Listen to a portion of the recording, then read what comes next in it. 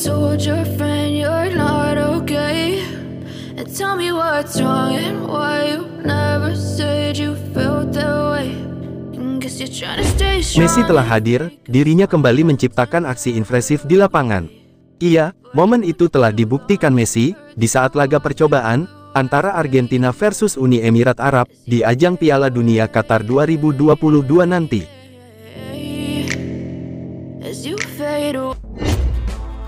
Timnas Argentina berhasil melibas Arab, dengan skor yang sangat telak, 5-0, dan kemenangan ini menjadi modal yang sangat apik, bagi Timnas Argentina, untuk menghadapi Piala Dunia Qatar nanti. Dalam laga ini, Lionel Messi menyumbangkan satu gol di menit ke-44, itu, berkat kerjasama dengan Angel Di Maria, Messi berhasil mengecoh timnas Uni Emirat Arab, hanya dengan satu gerakan.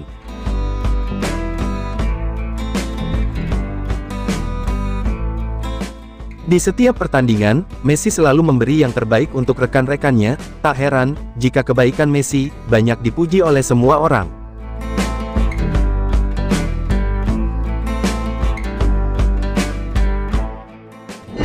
Sepanjang pertandingan ini, Messi mendapatkan rating yang cukup bagus, di antara semua pemain, di timnas Argentina, dia telah mencatat, satu gol, satu assist, dan tujuh tembakan ke gawang.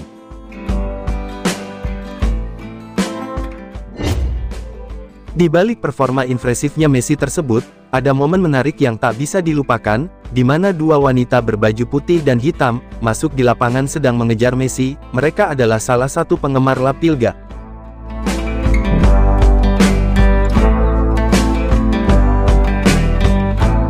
Namun disayangkan, dua wanita tersebut, malah ditahan oleh petugas, mereka tidak berhasil memeluk Messi.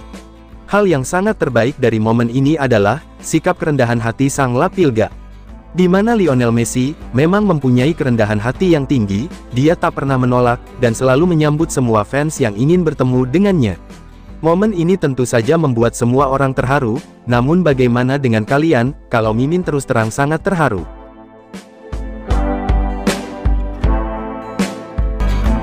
Nah oke lah guys, mungkin, hanya ini yang bisa Mimin sampaikan, mengenai kerendahan hati sang Lapilga, sampai jumpa di video berikutnya, bravo olahraga.